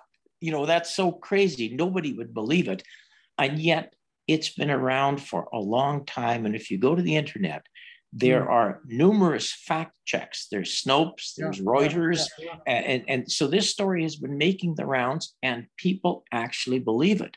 But that's one story that that is is useful because it's sort of, I believe, it's sort of a bridge. It shows, no, that's a child's story. Uh. No, no adult, no sophisticated adult could possibly believe it. No. But uh, the the other stories, well, they've been embellished a bit, and they've had this Kevin annett He's a smoothie, and there are there are other people as well who have been sort of pushing these stories along. Yeah. So uh, the thing that's been amazing to me, Francis, is that it is not just the unsophisticated people who believe these preposterous stories about you know uh, priests throwing babies and, and, and into furnaces and, and six year old burying uh, children in the middle of the night and that sort of thing. It's also people who should know better. It's it's even the trc commissioners seem to yeah. to accept these well, stories. sort of like I, you know it's like we believe you. Like like this kind of we believe you idea which is is kind of a if you don't your gat and this is the other term that you hear which you probably have is and i got it i, I never heard this term before but when i did my first uh, attempt at the political economy of neo-tribal rentierism talking about the that like the the uh, the claims and their rent seeking uh, potential um, i got accused of gaslighting mm-hmm. so you, you hear an improbable claim and skepticism. And and you shouldn't like this is kind of the, the other problem is and it's like um people who have who claim that they they've been uh, sexually assaulted and and this sort of idea we believe you which i think when i first heard the we believe you i thought whoa that's not good because that is denying the presumption of innocence. So in our justice system, if you are accused, there's a presumption of innocence, whereas the we believe you is not a presumption of innocence, it's a presumption of guilt because we're believing the person who's making the claim. And it's the same kind of thing that's going on in these kinds of allegations that are happening now.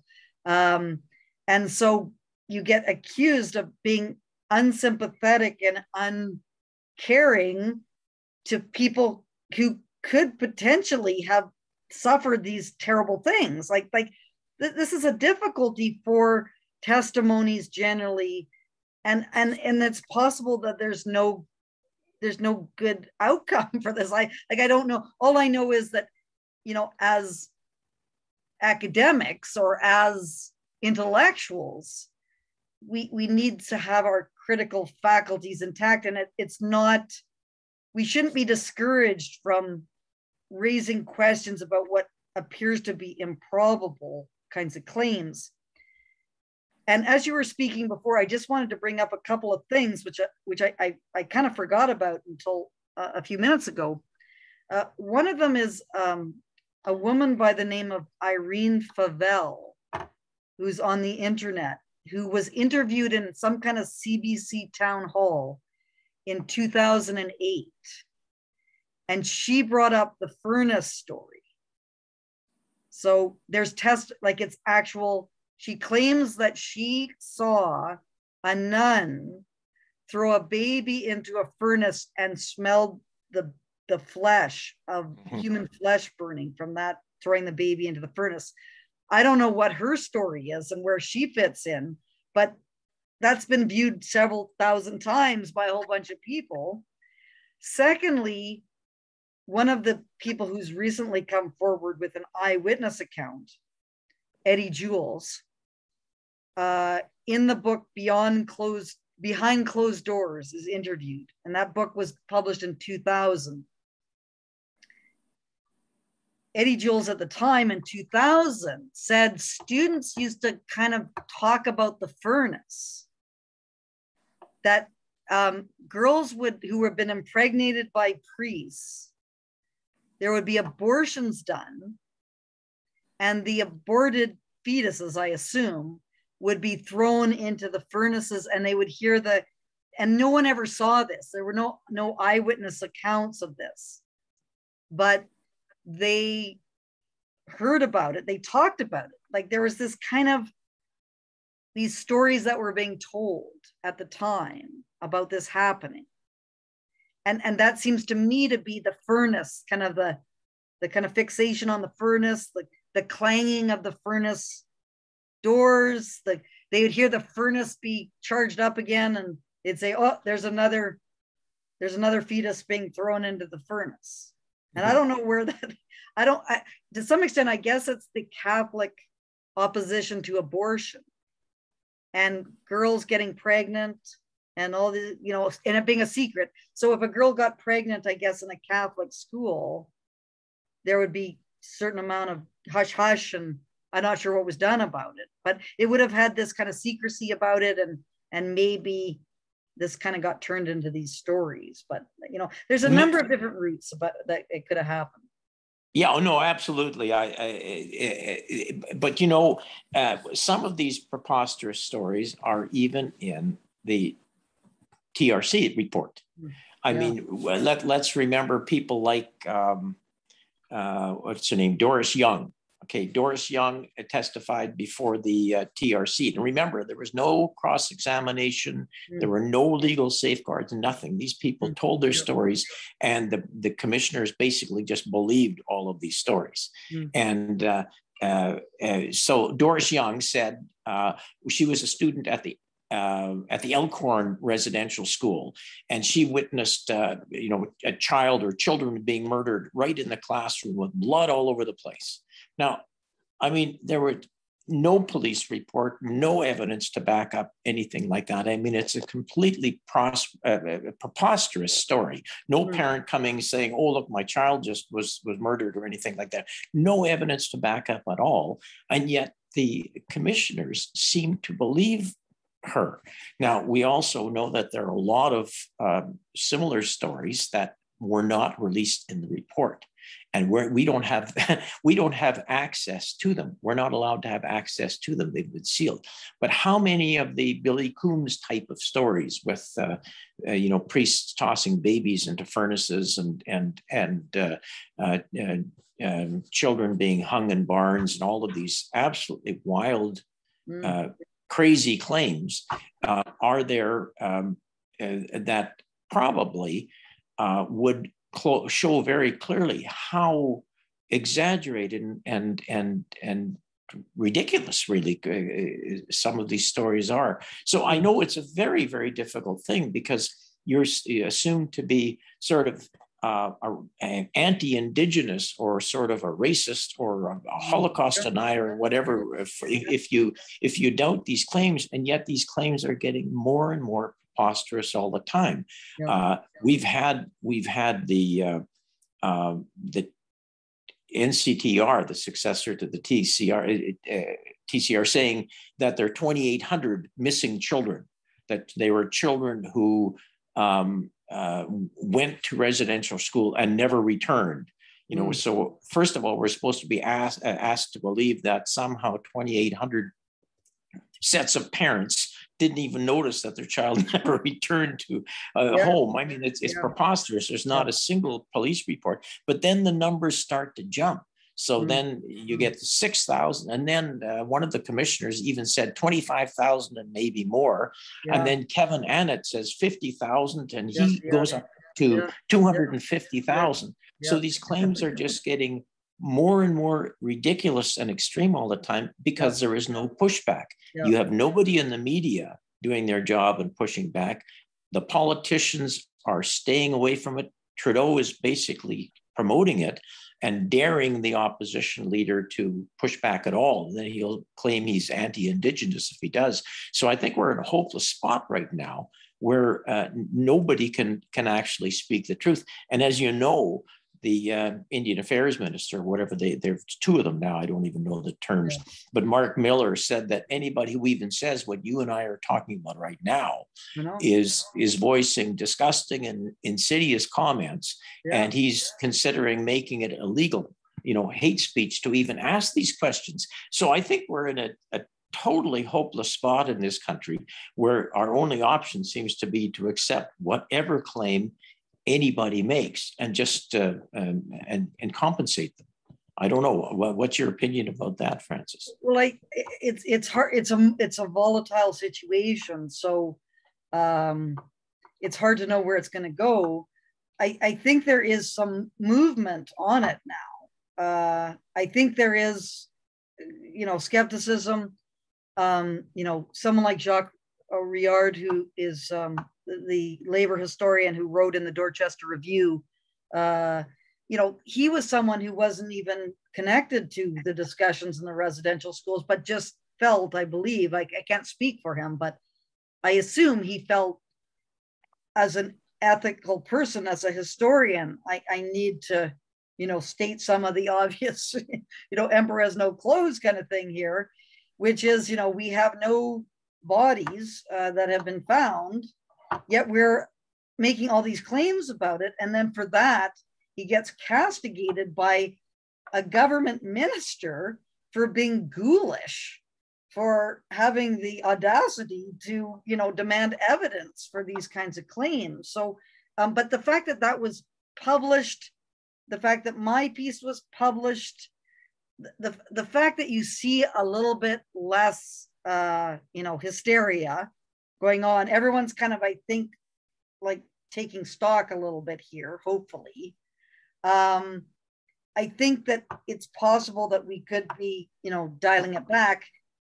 Um, the, the thing I fear, though, this is what I fear the most, is the the kind of irrationality that's taking hold throughout society generally, and the clamping down on freedom of expression that is going to open things up for a, a totalitarian push that is going to come forward because we're losing the ability to communicate uh, as some kind of universal public square. It's been happening for quite some time, but things seem to be really breaking down. And because, you know, the left, like I'm a person who comes at it from a historical materialism, so the left has just completely disintegrated and has been taken over by this woke kind of totalitarian identity politics. So there's really no class politics anymore. And then what is going to make room, I think what's going to, one potential really negative outcome is, you know, this white identity politics, which is, you know, kind of emerging because that's kind of um, in history when you you have this kind of narcissistic, decadent kind of thing happening. Uh, uh, uh, Brian, your your thumb is getting put over the. Oh, sorry. uh, you have this narcissistic, decadent kind of thing happening. It it allows the heroic kind of figure to come and just kind of clear out all the all the narcissistic decadent kind of stuff. And i i don't want that to happen. I want i want us to restore some kind of rationality to the way we're talking about things which potentially can head off this kind of outcome which i think is is possible which i'm really dreading if that's the case. And you know everything that's happened in the last you know year and a half you know seems to signal things kind of spiraling out of control and i i'm really this is part of the reason for the rational space disputations is you know i, I assume uh, brian you're a you're you would call yourself a conservative i yeah. think uh, small c conservative yeah, uh, yeah, and i'm a historical materialist which mm-hmm. comes out of the marxist tradition but i can talk to, i can talk to you and mm-hmm. we can have a conversation. Yeah. Whereas yeah. if I tried to have a conversation with one of my person colleagues who calls themselves quote unquote left wing, which I don't see as left wing at all, I see it as uh, reactionary. We can't even like everything's broken down. We we can't. And and the same with if I'm going to have a discussion with a Trump supporter or something, I'm not going to be able to talk to them. But there's kind of a a group of people who still think that reasoned debate and and so on is possible and and that's kind of the uh, uh, the future i think uh, anyway on that note uh, brian we've come to our two okay. hour point in the okay. discussion so i thought that was very very interesting um, i don't think we disagreed on very i'm not sure if i'm going to be able to continue to keep on calling this a disputations if i'm if I'm agreeing with everyone on what we talk about, but I think there was a lot of very interesting things, you know, discussed in terms of Indigenous policy and the residential schools. So I wanted to thank you very much for appearing on this uh, this program, and and I'm hoping to talk to other people with with with interesting ideas as well. Okay, well, thanks very much for inviting me, and maybe we we can have something we can really disagree on at some point. Sure. So.